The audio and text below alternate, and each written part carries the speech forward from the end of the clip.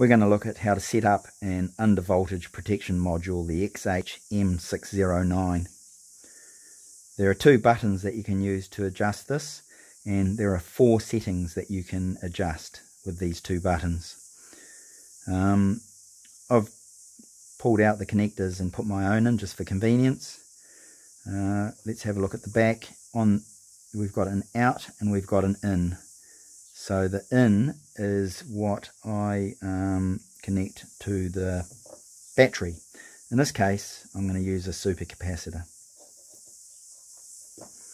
Away we go. The first thing that I need to do is I need to check that uh, the voltage is correct on this module. So I'm just going to hook up my own voltmeter and compare. So it's about one volt out. Um, it's actually too high, the unit. So my voltmeter says 10.5, that says 11.5. To, to calibrate this unit, you long press the plus button, the left one, and you'll see that it starts flashing. So I can adjust up or down with these two buttons when it's flashing. Obviously the minus button reduces the value and the plus button increases the value. The um, By holding one of these buttons down, it rapidly increases or decreases the value. By clicking it, it increases it or decreases it one unit at a time. So let's adjust it. It's flashing, so I can now reduce it. It's a bit dicky. I'm going to press and hold, and, and it's now 10.7. 10.5, that will do me. That's not too bad.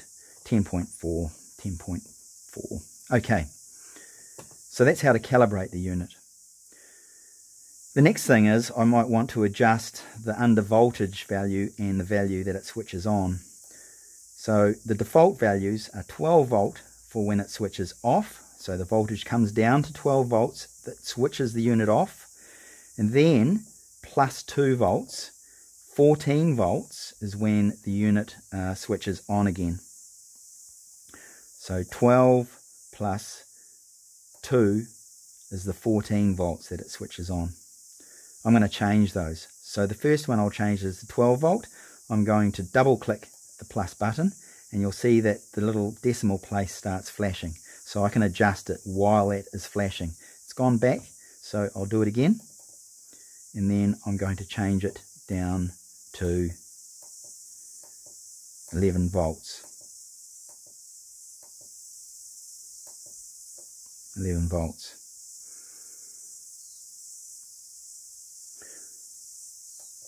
Now when I press it I've got 11 volts. Then this value double click. Whoops.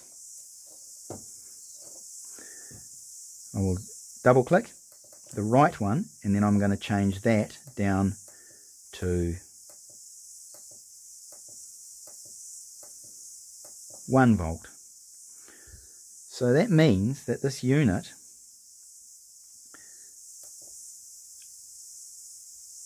will switch off at 11 volts and then on again at 12 volts 11 plus 1 now there's one more setting for this unit um, I'll hook up the solar panel. We'll see how it goes. There's one more setting for this unit, and that's the right button when you long press it. And that there is a time delay. That 5 essentially means a time delay of something like 30 seconds. Um, let's hook up the load. It's off at the moment.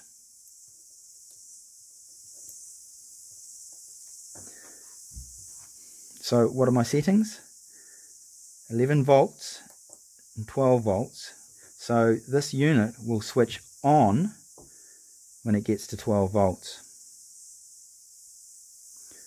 So that's going to take a little while. Um, put that out of the way. What I've tried to do is a real life application here. Uh, in this case, I've got my load as a little solar pump Uh, it's a 5 watt solar pump and I don't want that to switch on when the voltage is below 11 volts. I want it to switch off. That's because uh, I require a certain head and below 11 volts this unit um, doesn't pump the head that I require and so I don't want it to be pumping below 11 volts because it'll just consume energy without actually pumping any water.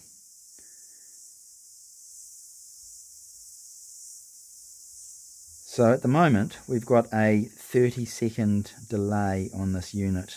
Once it gets to 12 volts it won't switch on straight away. We can adjust that delay right down to zero uh, so it's got to 12 volts and it'll take a little while for the unit to actually switch on. So let's disconnect the panel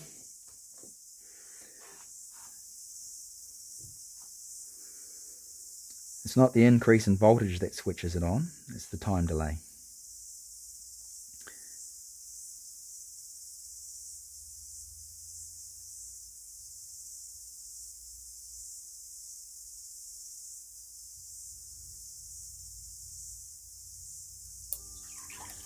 Away she goes. Uh, so that was, you know, a time delay of 5. So it equates to something like 30 seconds. It's now bringing the voltage back down. We're pretending that the sun's behind the behind the clouds at the moment, so the panel's not actually connected. Um, I'll connect uh, the panel again once we get down to that 11 volts and it switches off.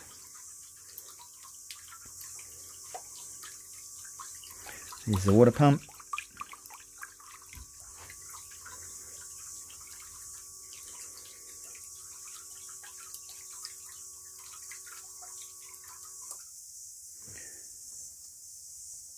So let's look, let's look at this time delay. It's the right button and it's the long press of the right button. So we're going to long press it and we're going to reduce that value down, down to zero.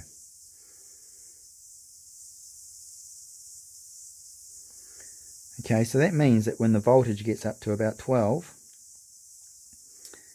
it's going to switch on. Now there is still a very short time delay on this module, uh, but it's going to switch on quite quickly after it gets to 12 volts.